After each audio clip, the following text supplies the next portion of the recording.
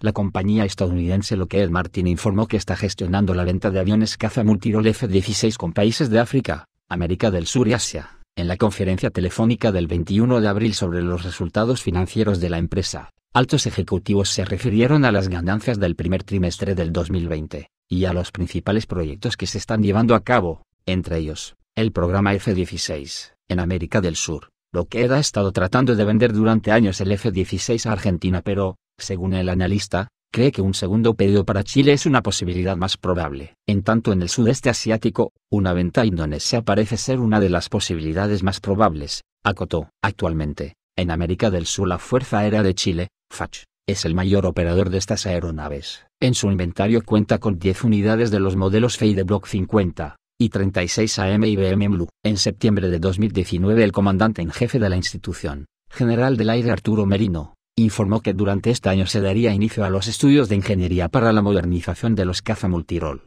UCRADE previamente anunciado por el ministro de Defensa Nacional, Alberto Espina. De forma complementaria a la modernización, Janes publicó en noviembre de 2017 que la FA también se encontraba estudiando aumentar el actual número de aviones Block 50, con entre 6 a 8 unidades adicionales. ¿Qué piensas de esta nueva adquisición de la Fuerza Aérea de Chile?